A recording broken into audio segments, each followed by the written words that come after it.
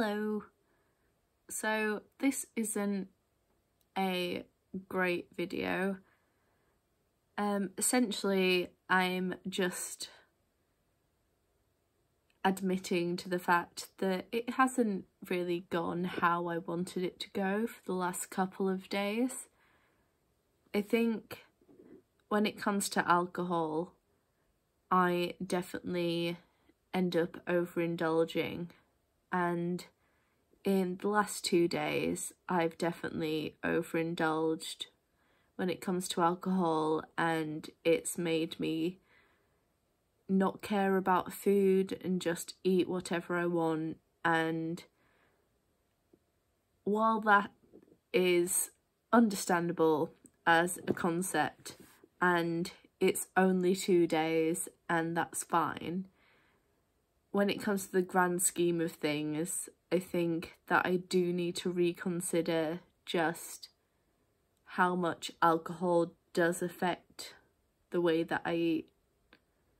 So I'm going to post just a quick little shot of my last four days that I that have happened since phase phase one of my a YouTube dieting thing. So obviously in the first 20 days, as you can see from my other videos, I lost 10 pounds and I just sort of had a bit of a lull where I decided that I didn't really want to spend my entire day just posting or filming rather little clips of me doing this and that and here's my food and here's some more food.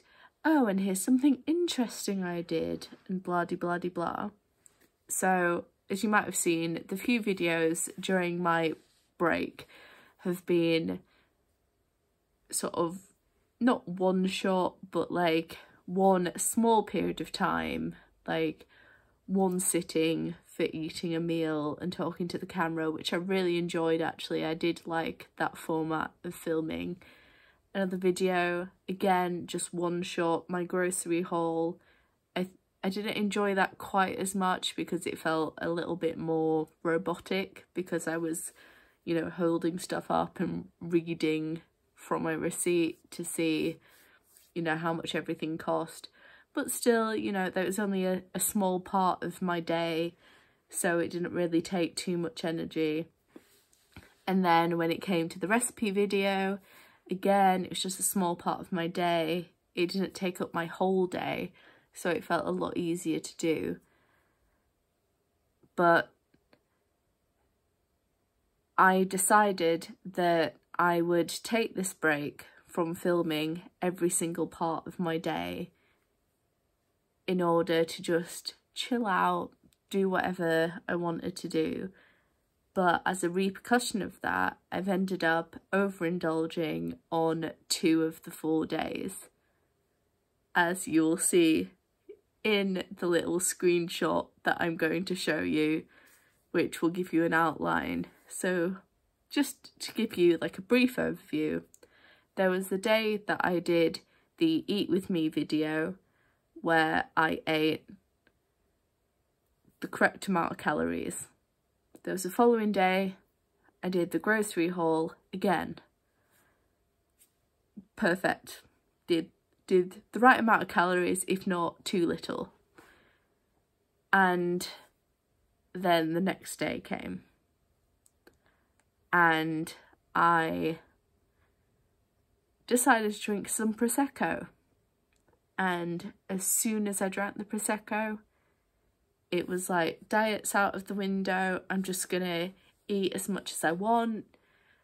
I essentially, the meal that I cooked, which was already, as you saw in the recipe video, nearly 900 calories, I had that same meal again.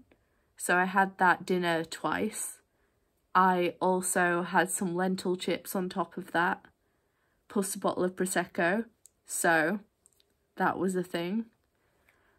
Um, today I was out with my friend. we did a lot of walking. We were just like picking up bits and pieces as we went. We had a donut for breakfast, which just started us off on the wrong foot. So I just want to be completely honest. And I said in my Eat With Me video that I was having a feast as a celebration for losing the £10. But on that day, I still stuck to my calorie limit. Yet two days later, when I was not celebrating my success, just because I had alcohol, I ended up overindulging. So it's definitely something I have to consider when it comes to the future of me dieting. I don't want to cut alcohol out of my life completely. I do think it should be something that I reserve for just when I'm going out with people. I think today was fair enough. I was with my friend, we were going out, we were having a nice time out in London. Yesterday, there was no excuse for it. I did not need to drink the Prosecco. And I did, and I ate more than I should have. And I shouldn't have. And I realise that I'm, I'm saying this to all of four subscribers that I have but I think it's important that when you're on a diet, you need to consider everything that you do because it's when it comes down to it, it is a lifestyle change. You need to change the way that you've been acting because the way that you were before did not work.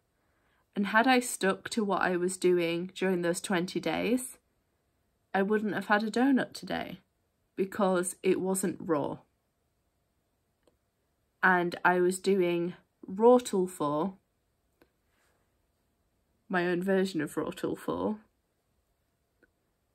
but I would have said, no, a donut is not raw, therefore I won't have it for breakfast.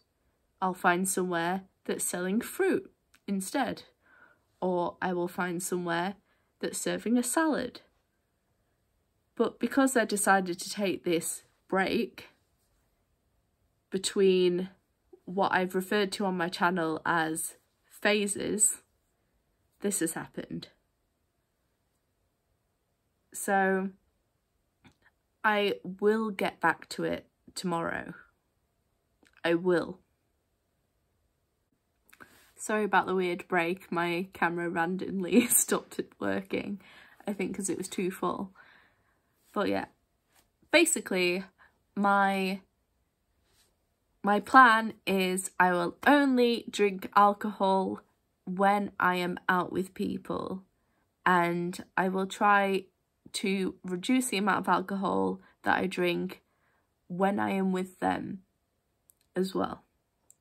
I think that sometimes it is good to drink alcohol for social situations and it is nice to have a glass of wine with a meal. I think that's fine.